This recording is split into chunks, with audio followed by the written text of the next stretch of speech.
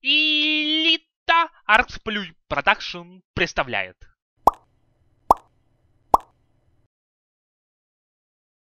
Привет, моя любимая. А, в этом видео я покажу, как делать правильные отводы, стоя на Easy Lane. На самом деле, это проблема очень многих игроков. Наверное, 99% не понимают, как правильно делать отвод. Ну, вообще не понимают смысл отводов. Давайте прибежим на этот лайн. Так вот, а, в чем ошибка, да? Когда они просто берут, начинают отводить своих крипов на лесных, а крипы убивают лесных, и потом в итоге получается, что идут две пачки крипов наших. И эти две пачки крипов, они сильно пушат лайн. Это самая частая ошибка, которая бесит просто всех. То есть, ну, всех она бесит. Ну, допустим, вот, а, мы стоим. Так, давайте я начну игру. А, мы стоим, играем за саппорта, за Далзо. Здесь где-нибудь фармит наш а, Кэрри. Ну, даже он где-то здесь будет фармить. Само собой, наша задача сделать так, чтобы наш Кэрри сдвинулся ближе к своей вышке. То есть, чтобы меньше было шансов, что его могут убить. Правильно? Пускай под вышкой фармит. Любой нормальный фармер умеет фармить под вышкой. То есть, ты бей заранее крипа, ударяет вышка, ты добиваешь крипа. Все очень просто. А, также смотрите. Ну ладно, это я потом уже скажу. Давайте я сейчас покажу, как делать неправильно. Вот ошибка многих. Как они делают. Я говорю, я такое вижу постоянно, и это очень сильно бесит. Как вообще делаются отводы? Вот мы видим на миникарте, что в этом месте идут крипы. Это делать очень просто. Ударяем лесных крипов и бежим на своих. То есть, сделать неправильный отвод, это очень сложно. Все, крипы агрятся и бегут а, а, в лес фармить. Это называется отвод. То есть, мы отвели своих крипов в лес. А, в чем минус такого отвода? Вы видите, что здесь 4 крипа, и они гарантированно убивают лесных крипов. То есть в итоге они выживут. Это самая частая ошибка. Эти три крипа выживают, а здесь идет еще одна пачка крипов. То есть в итоге сейчас будет не 4 крипа, да? Сейчас будет 7 крипов. И эти 7 крипов, они начинают очень сильно пушить лайн. То есть почти два раза больше крипов у нас стало. Смотрите. То есть теперь эта пачка крипов 7 штук начинает очень сильно пушить лайн. Это самая большая проблема неправильных отводов. Вроде мы хотели, чтобы крипы были здесь, вражеские, да? А теперь они здесь. А сейчас они будут еще дальше. Они теперь будут здесь и здесь. То есть лайн очень сильно отпушивается. И э, кэрри будут на вас очень зол. Так как же делать все-таки правильно отводы? Значит, не успею сделать, ну ладно.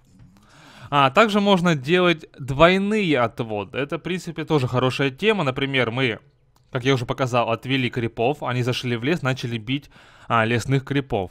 Мы ломаем, например, через танго дерево. Когда умирает последний крип, начинает умирать, да, лесной.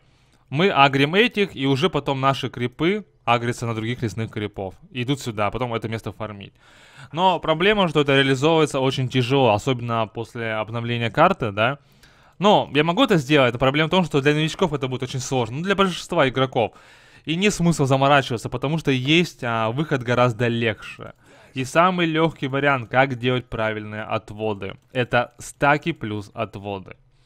Самый лучший вариант. Еще один самый большой плюс, что враг вообще не будет получать крипов. То есть у него просто не будет идти опыт. Он будет проседать по опыту. Что мы делаем? Делаем сначала стаки. 53 секунда я ударяю. И убегаю в любую сторону. Все, я убежал. Опа. Опа. Отлично.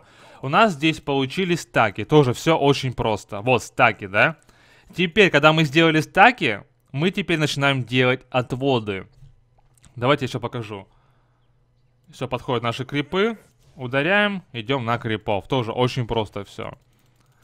Делается отвод. Но в чем разница а, что было до этого и что сейчас, да? Теперь наши крипы умирают гарантированно. То есть мы просто у врага забираем эту пачку крипов, вы видите, они умирают в любом случае.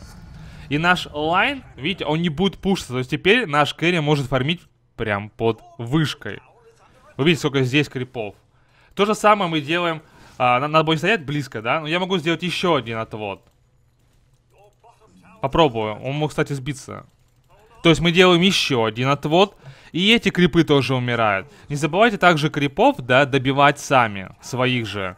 То есть мы решили врага еще одной пачки крипов. И так можно делать а, вплоть до трех пачек крипов.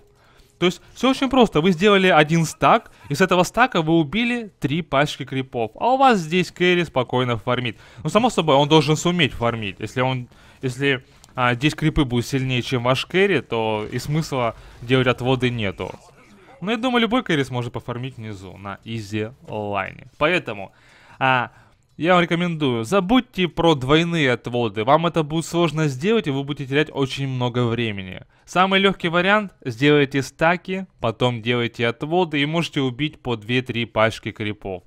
Так вы можете и не делать сразу, там, два отвода, правильно? Сделали один отвод, убили пачку крипов, Кэрри пофармил. Сделали второй отвод, убили пачку крипов, Кэрри пофармил. Также вы можете сделать бесконечные стаки, то есть настакали 3-4 стака здесь, и делайте отвод в нужный момент. Но крипы будут умирать гарантированно. Поднимаем ваш скилл до небес, как говорится. Не забудьте рассказать своим друзьям.